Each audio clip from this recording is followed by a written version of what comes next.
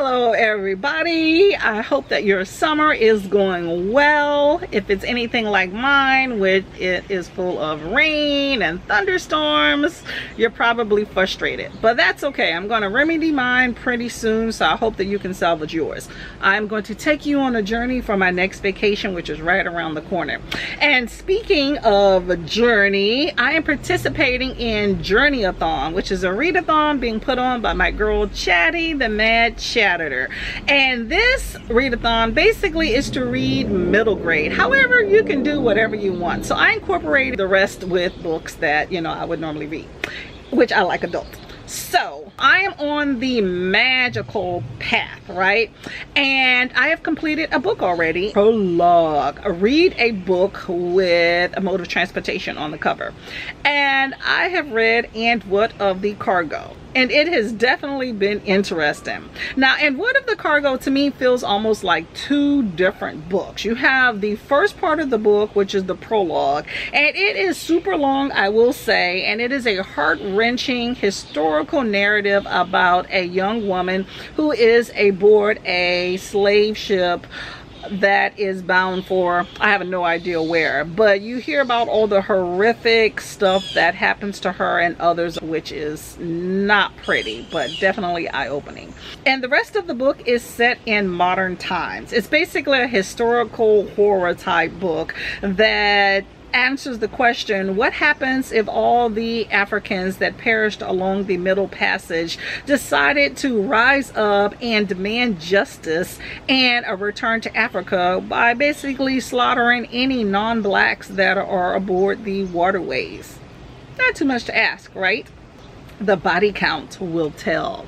Now, I love the multitude of themes and how they were articulated in this book. Very well done. You have the idea of survival by any means necessary, how the world needs drastic change, and the only way really to start that is by violence. How oppression is used as a weapon of fear, how the world leaders who are mostly white really don't want change and will do anything possible to maintain the status quo. And the idea how there's survival and then there's thriving and they how they are not the same thing. Just so many themes to even talk about. Just well done well done well done I love that there were strong black female characters. I love, love, love the incorporation of African ancestry. And I like the story of African ancestors left behind in Africa when their loved ones were taken away during the slave trade. That is a perspective that you don't get to see very often. I think that Iyapo Yapa, the author, has an amazing talent for storytelling, for research, and development of a well thought out speculative fiction work that presents the truth about the current world and the leaders and the systemic culture of racism, oppression, and unjust justice. And furthermore, do these leaders really care to change it? Hmm anyway this was a really really good book. The synopsis i think on amazon is definitely vague and includes a lot of history very relevant but i wish it would pinpoint a little bit more towards exactly what this book was about but i definitely think that it is worth reading. I really did enjoy the book. And that is the first stop on my journey. Let's get to travel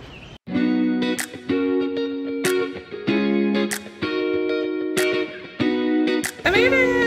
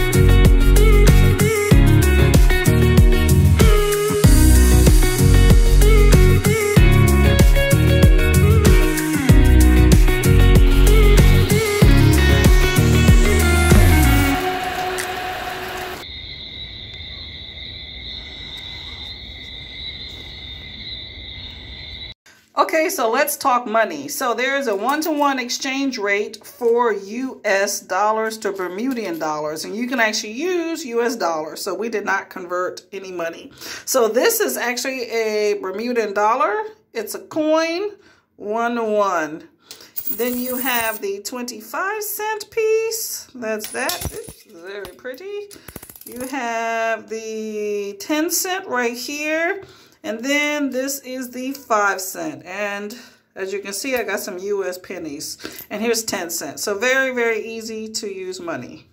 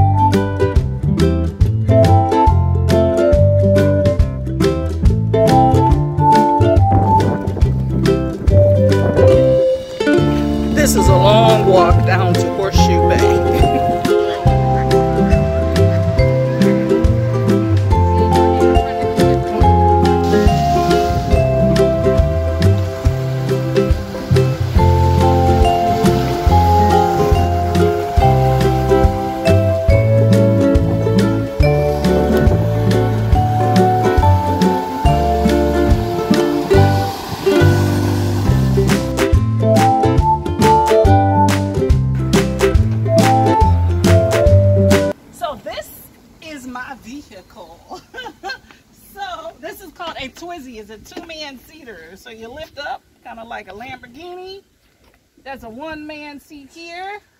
And then there's the other man seat there. So pretty much, you sit down here. Bam. All electric.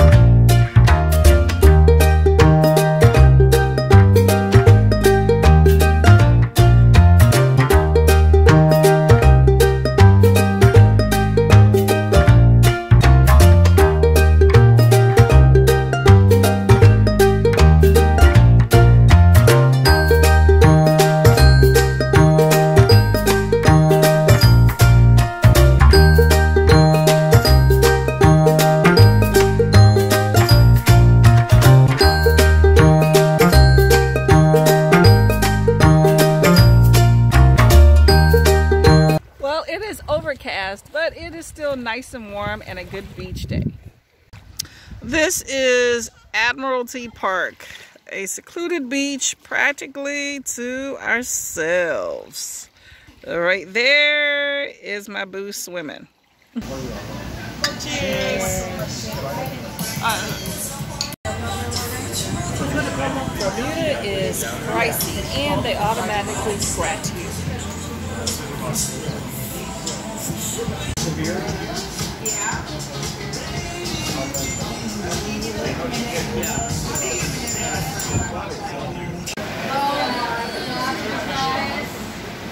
Crystal Fantasy Caves. Oh, look at that tree or multiple trees all docked together. Oh, oh, oh, my yes. There's charging ports right there. Score.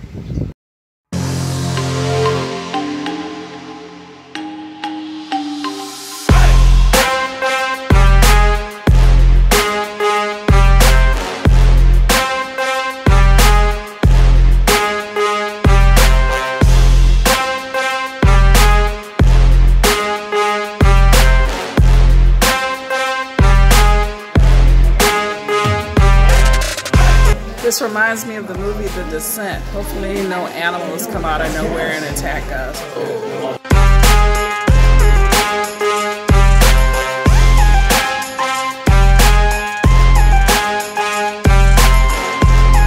So this is a bridge that you walk upon to view all the formations. Hold on, hold on. Ooh, and it moves.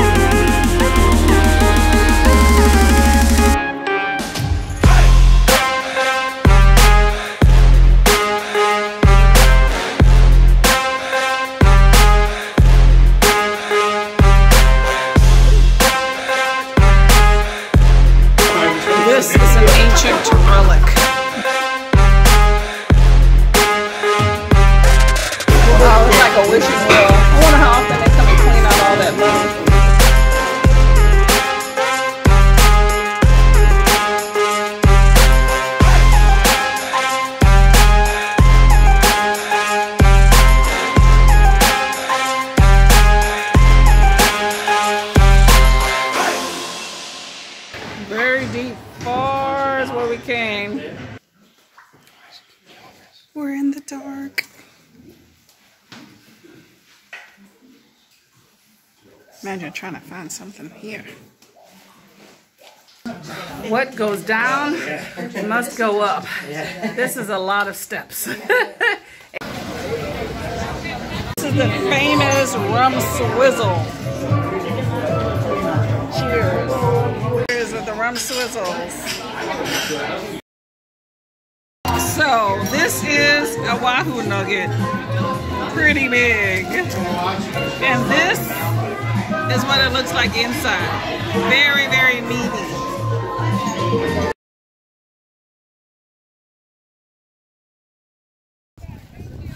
Oh, here we go. Apparently, if you're gonna dive, I guess you dive over there. Somebody must be coming. I just saw this. And then uh, you go in, and I think you climb in through the cave up back through the rock. Somebody gonna jump? Come on now. No. one more. Do you want one more?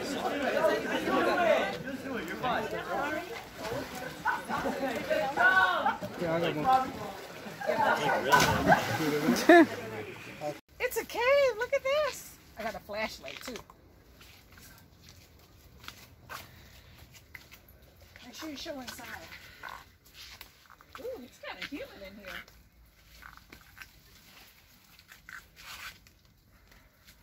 Ooh, I wonder if people live in here. Let me show this. Look. You see it? Looks like looks some old electricity stuff. Wow. That looks pretty deep there. Look like you can go. You notice here we drive on the left side of the road and there are no sidewalks. Very sharp, sharp curves.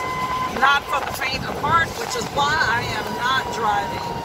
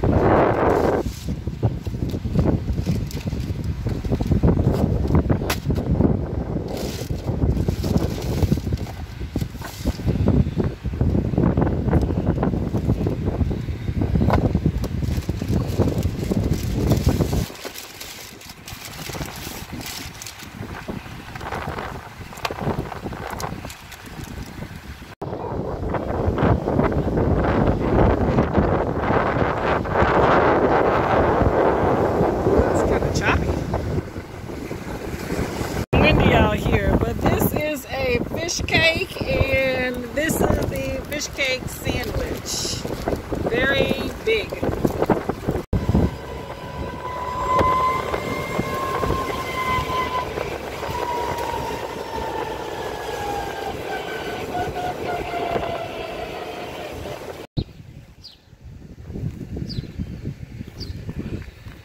This is called the Unfinished Church. Basically, it's a church that was not finished because there was some financial issues and disagreements amongst the congregation. So now it stands, yet none of the ceiling is finished and whatnot. Can't go in.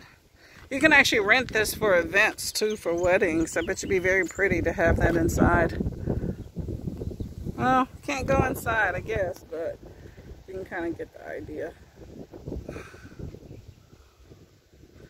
See, ceilings not complete. Imagine having an event here. Very expensive, I bet.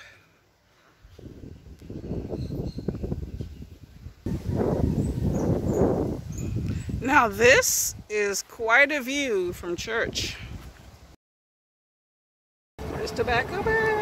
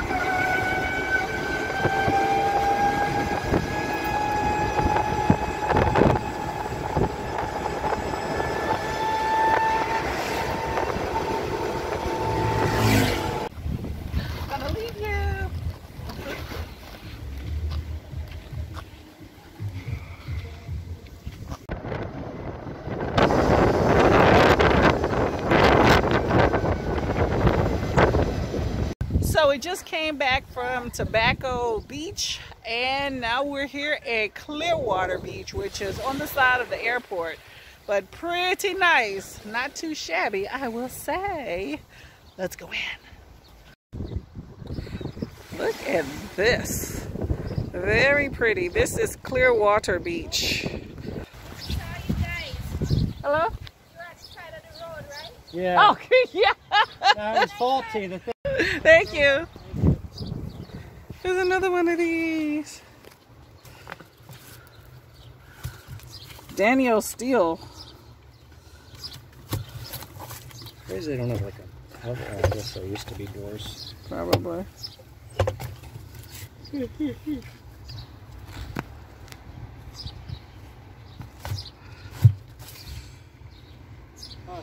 I'm coming. Do that.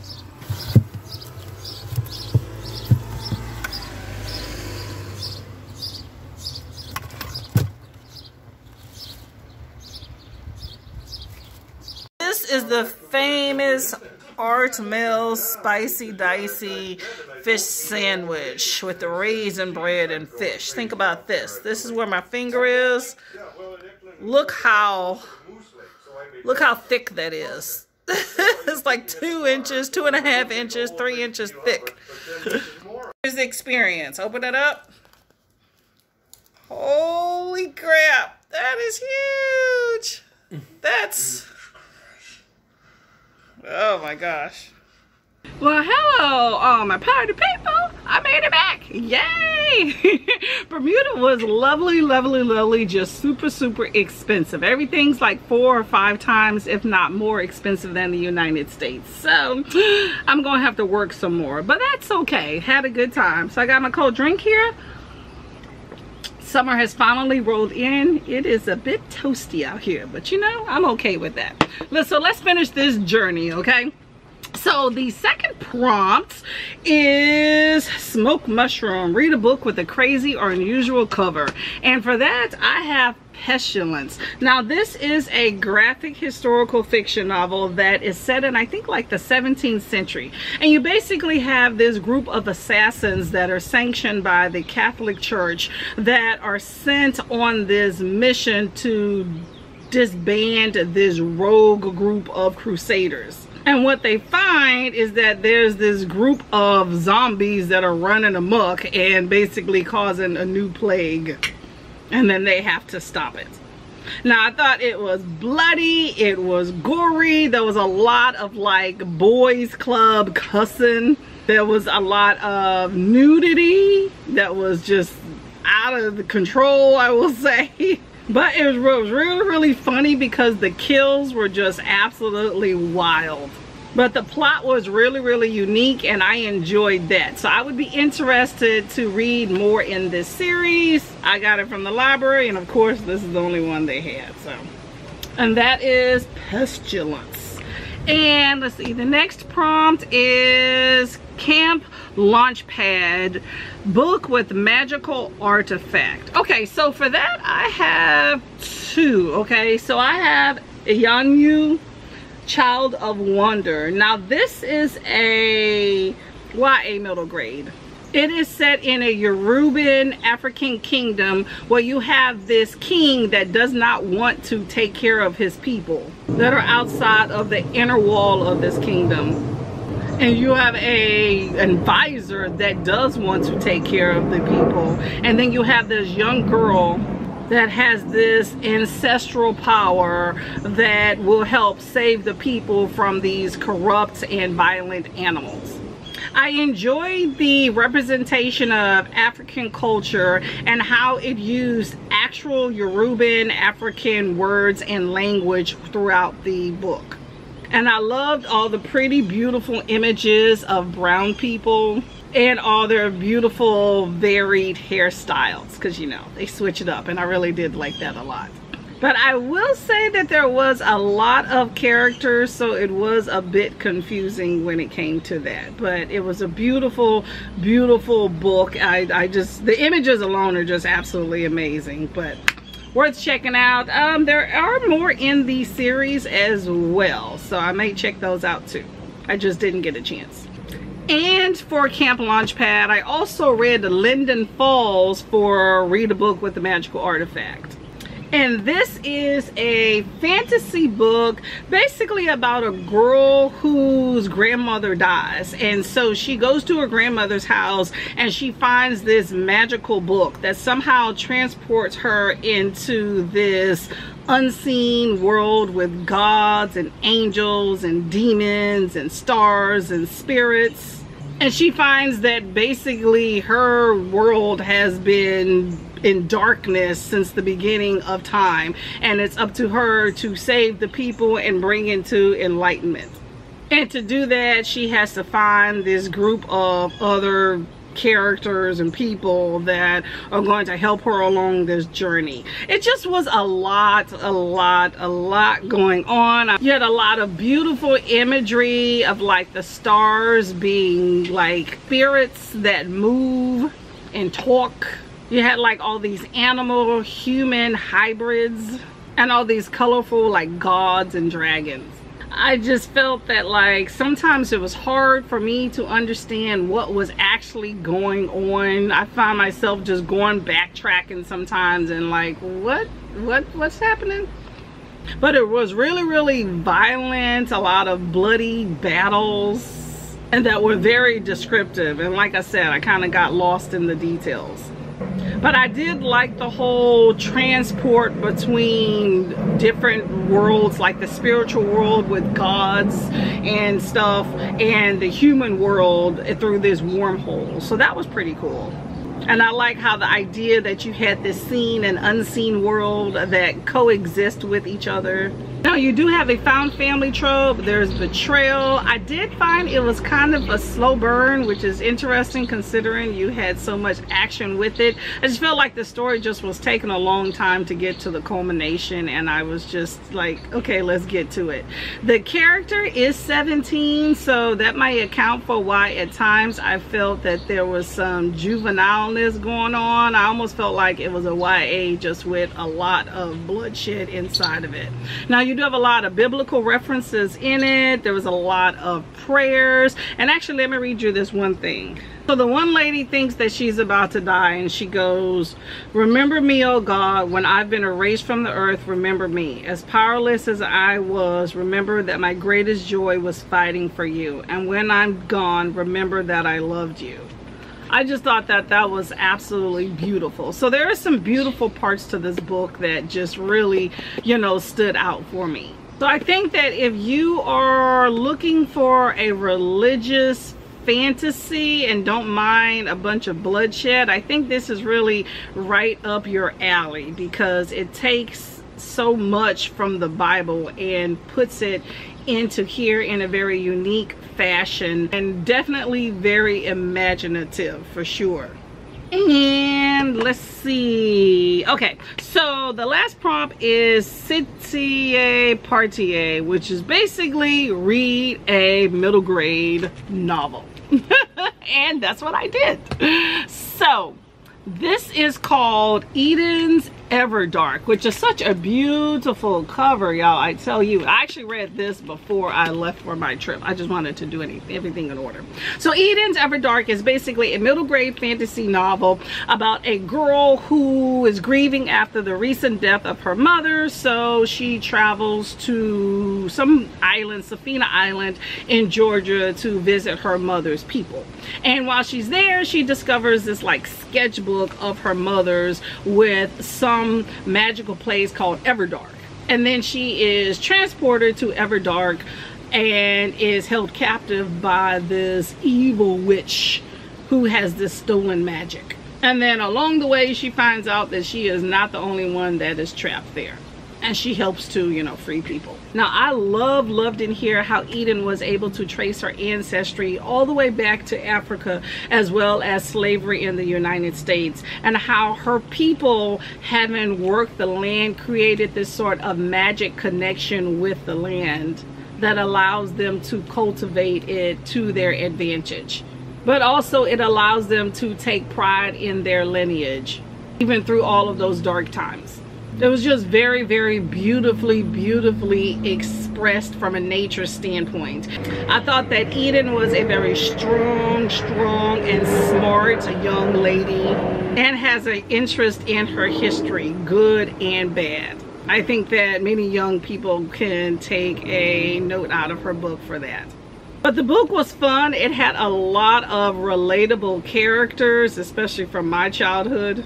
And you had a lot of good old southern drawls, which I can appreciate being a girl from Texas. So I really did enjoy this book. You know, might make me want to pick up more middle grade. I did enjoy it. And like I said, that beautiful cover alone is just absolutely amazing. So, and let's see, that is, that is Journey-a-thon. I had a good time with it. So, you know what, Chattie? Good job putting it together. So, I'm to get out of here. I think this vlog is probably the longest one I think I have ever, ever done. But well worth chronicling Bermuda. So, I hope that y'all have a great day and enjoying your summer because it's finally here. I need a cold drink. Bye, y'all.